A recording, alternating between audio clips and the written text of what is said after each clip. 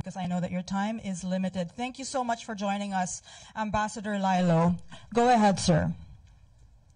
Good morning, no, from us here in Israel, and good afternoon to everyone there in the Philippines. Thank you for joining us today and for giving us this opportunity to inform the public of the situation on the ground and the embassy's efforts to protect the safety and well-being of Filipinos amid the conflict in southern Israel. We take this opportunity to assure not just our kababayan here in Israel, but also their families there in the Philippines, who we know are anxious to find out how their loved ones are coping in this difficult time.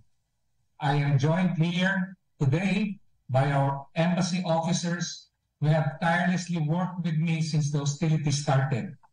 Uh, may I introduce Consul General Anton Mandap, Vice Consul Patricia Narajos, Vice Consul Terry Bautista, Labor Attaché Rudy Gabasan,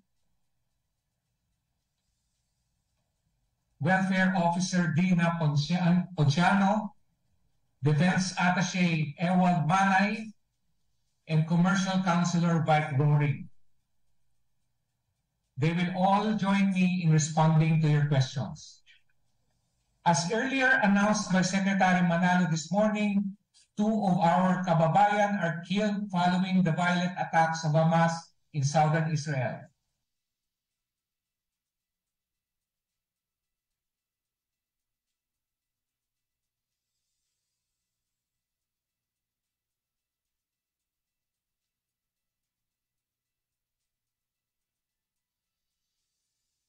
These have been confirmed by Israeli authorities. Last night, in the most difficult, difficult phone call in my career, I spoke to the wife of one of the victims to inform her of this sad news and to convey our sympathies. I promised her that the embassy will provide all the necessary assistance she needs. The president will also speak to her today to convey his personal condolences and offer additional assistance. The embassy will not disclose the identities of the deceased in line with the family's request for privacy at this very difficult time. May the memory of our kababayan be a blessing. We continue to work closely with Israeli authorities and local contacts to find the three Filipinos who are still missing. Despite sporadic rocket attacks and the distressing images you see in the news and on social media, these depict only certain areas in Israel, particularly areas surrounding the Gaza Strip. The Israeli military has retaken control of the communities infiltrated by Hamas militants. Rocket attacks have considerably lessened except in southern Israel. People can move freely in areas far from the combat zone and we have returned to work here at the embassy since Sunday. As much as we would like to immediately extend assistance to our kababayan in conflict areas, the embassy must adhere to the strict travel restrictions enforced by Israeli authorities in these areas. However, the Israeli government assures us that during emergency situations, Israeli security authorities and the Home Front Command have established protocols for evacuating anyone who is in Israel, regardless of nationality and status. The embassy thus takes this opportunity to express its gratitude to Israel for ensuring the safety of Filipinos, especially the Israeli security forces who rescued our nationals and continue to risk their lives in finding the last missing Filipinos. We also thank the Israeli emergency and medical personnel who took care of our injured kababayan, as well as the kibbutzim who included our nationals in their evacuation operations. Meanwhile, the embassy's Migrant Workers Office and Overseas Workers Welfare Administration team continues to provide assistance to evacuated Filipinos relocated to safer ground or being treated for injuries. The MWO OWWA team has been working tirelessly in the last two days to ensure that all Filipinos are accounted for and that those affected are given medical uh, emergency assistance. We continue to provide Filipinos in Israel with timely advisories, safety guidelines, and important instructions through our social media accounts and messenger platforms. We also regularly hold Zoom briefings with Filipino community leaders. While the situation remains tense and fluid, the embassy strives to provide factual and reliable updates and advice on the status of Filipinos in Israel and the situation on the ground. This is our message, and uh, we welcome your questions. Thank you very much. Thank you. We'll start with the uh, Nestor Corrales, Philippine Daily Inquirer. Uh, good afternoon, sir, from Manila. With the confirmed killing of two Filipinos, is the embassy not yet recommending the mandatory repatriation or evacuation?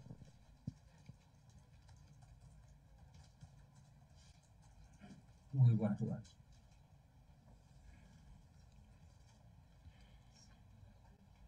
Yeah. What's the question? Okay. Uh, with the killing of two Filipinos there in Israel, is the embassy not yet recommending mandatory evacuation or repatriation? Uh, actually, we're not recommending that no, because uh, uh, these fatalities happened during the day of attack. No? And the situation, uh, the, the Israeli Defense Forces have already uh, regained no? uh, the, the areas uh, uh, attacked by the, by the Hamas. No? Uh, with that? Okay. Yes, uh, I we contribute? are not recommending uh, repatriation right now, and uh, I think it's inaccurate to to word it as mandatory repatriation because it, we are not recommending it now. And as the ambassador has mentioned, the uh, the killings happened on day one, and the situation has consider- considerably improved since then. May I add to that? Go ahead. The embassy, the embassy has not recommended it because mandatory repatriation or alert level four is called when a country has broke uh, breaking down in the rule of law and everything about peace and order has broken down and it's descended to full war throughout the country. That is not the case in the state of Israel. Uh, the uh, two uh, killings occurred because of the uh, attack last Saturday, and the situation has um, turned to uh, to a certain um, semblance of normalcy, as the ambassador and his team have indicated. However, Israel now, uh, by decision of foreign ministry, is under alert level two, meaning re- restricted deployment. We're not going to deploy uh, new workers, uh, which is actually the status quo anyway, because uh, we still have to negotiate uh, the uh, agreement about caregivers and about the hotel workers. It's by a G2G agreement, government to government, and right now there's there's no um, deployment. So uh, we still urge precaution. The embassy already issued a travel advisory. We repeat that that we do not recommend uh, visits to Israel at the present time. I believe the ambassador will back me up on this, that this is still the continued advice.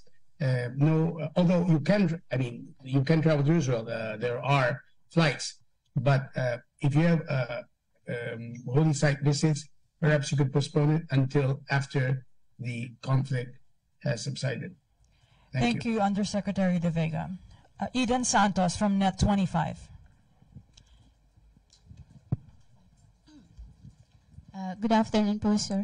Uh, tatanong ko lang po kung ano yung uh, arrangement para doon sa mga uh, kababayan nating nasawi, yung dalawang Filipino po, para maiuwi po sila dito sa Pilipinas. May ganun na po bang uh, pag-uusap or kahilingan yung uh, family ng mga biktima?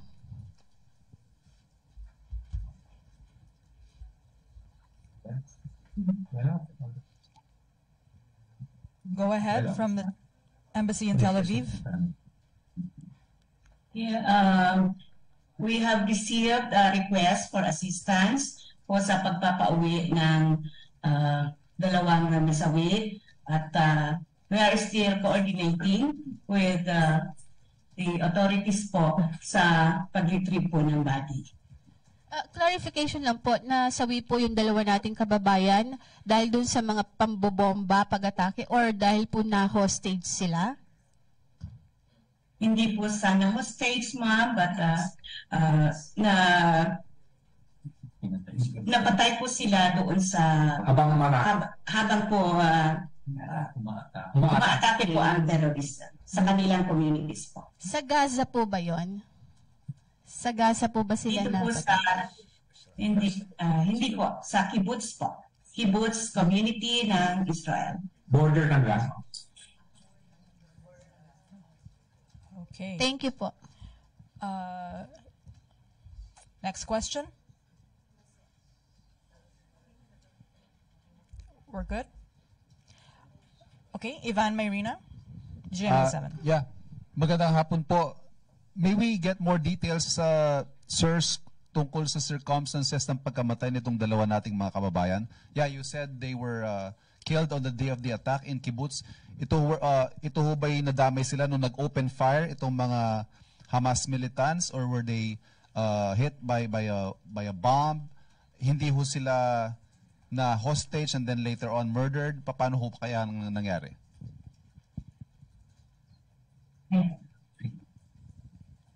Yung yung isa po ay habang pinipwersa ng ah, militante mga terorista yung kanilang pinto. Pagbukas po ng pinto, niratrat po yung ah, mag-amo, yung ah, caregiver at saka yung kanyang. Yung isa po ay ah, pinatay pero hin- hindi po namin alam kung anong circumstance. Pero isa po siya dun sa mga natangay ng Hamas ah, sa kasagsagan po ng pananalasa ng mga terorista. So, na-hostage po siya initially and then later on murdered. Hindi. May I answer that? Yes, please. Go ahead, sir. Yung mga hostages dinadala sa Gaza para maging uh, human shields. May tanong kanina about kung saan yung attacks mo sa Gaza. Let's remember, the Hamas came from Gaza, pumasok sa southern Israel at uh, ito, commit ang acts of uh, terror and violence. Dahil doon yung first day, maraming namatay kasi either tinamaan yung, yung rockets, ng ganun, or pinagbabaril. Yun ang most likely nangyari sa isa. Ah, hindi siya kinuha hostage na dinala sa Gaza as binaril doon. Yun ang most likely nangyari po. But out of respect to the wishes of the family, as the ambassadors indicated, um, we're not going to give details. Uh, perhaps the president will uh, speak about it, but not uh, for now, no po. We're not going to give more details uh, on uh, that other than namatay sila on Saturday. Okay. Thank you. Yusek De, Ve- Yeah. Yusek De Vega, sir, uh, yesterday we had a briefing last uh, in the afternoon. Ang nabanggit po ninyo, may seven na unaccounted. What is the number today, sir? In the last 24 hours, baka nagka-development.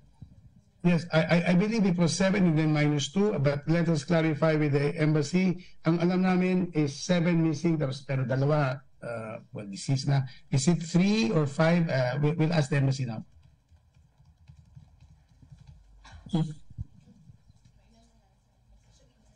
Okay.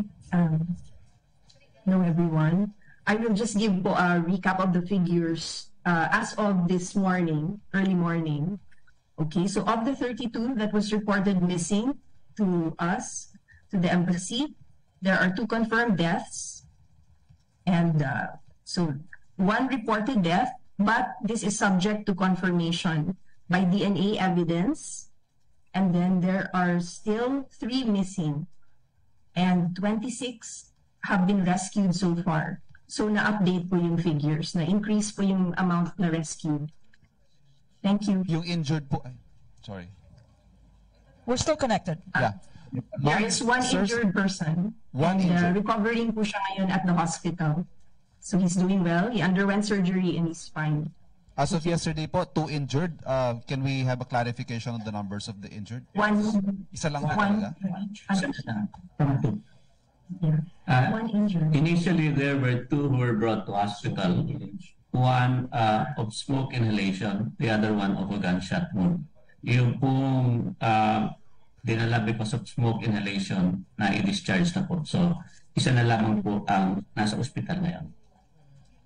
Thank you, sirs. Thank you. Okay. Maricel Halili, TV5. Hi, sir. Magandang hapon po. Sir, we respect the wish of the family not to disclose the identity of the fatalities of the victim, but at least can we have additional details like lalaki o babae po ba sila, ilang taon ba sila, tagasan po sila dito sa Pilipinas?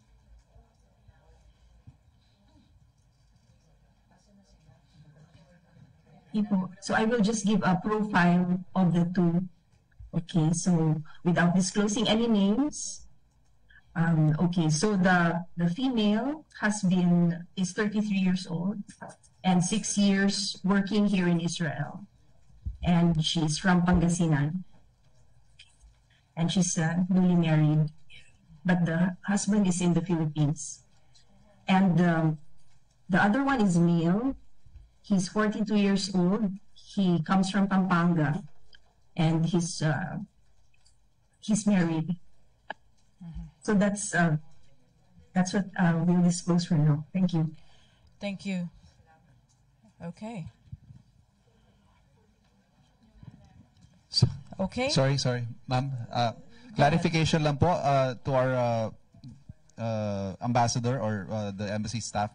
So aside from the two confirmed fatalities, meron pa hong isa tayong kino-confirm uh, through DNA testing. Is that correct? Yes, yes. Uh, Thank you po. Ingat po kayo. Thank you. Okay. Thank you so much, uh, Ambassador Laylo, uh, uh, Ambassador to Israel, Deputy Head of Mission Consul General Anthony Mandap, Vice Consul Patricia Narajos and Terry Bautista, Labor Attaché Rodolfo Gabasan, Defense and Forces Attaché Colonel Ewald Manay, Commercial Counselor Michael Angelo Roaring, and Welfare Officer Dina Ponciano. We wish you well and please keep safe. Thank you so much. thank you. Thank you. Thank you. Be well. Okay, let's proceed with our briefing here. We have with us uh, the uh, AFP spokesperson, Colonel Aguilar, and we still have Yusek De Vega with us. Uh, good, good afternoon. Uh, I am here to assure everybody that uh, with the guidance of the our President, His Excellency President uh, Ferdinand Romualdez Marcos Jr., the Armed Forces of the Philippines is prepared to execute evacuation operation should there be a need for that. And we have already we already came up with a plan on how to do it, and this will be a whole of nation approach because what is important for us is the safety of our uh, countrymen there in the conflict area.